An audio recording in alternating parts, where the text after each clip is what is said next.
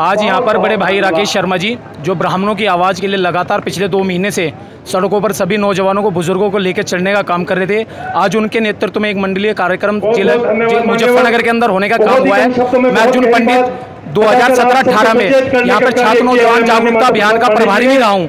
मेरे साथ सहारनपुर जनपद से सैकड़ों नौजवान आने का काम हुआ तीस गाड़ियों के साथ आए हैं। मेरे साथ मेरे भाई सचिन शर्मा जी है मोहित त्यागी जी है और तमाम मेरे नौजवान साथी जो यहाँ सहारनपुर से चले आए। उनका मैं तमाम धन्यवाद देना चाहता हूँ की ब्राह्मण सम्मेलन की एकता के लिए उन लोगों ने यहाँ पर पहुँचने का काम किया और मैं वादा और करता हूँ पत्रकार बंधुओं के माध्यम से कि आने वाला जो समय है समाजवादी पार्टी का समय है और एक काम और बताता हूँ कि इस मंडल में से और मुजफ्फरनगर के पावन धरती के अंदर ब्राह्मण समाज का नेतृत्व निकलने का काम होगा।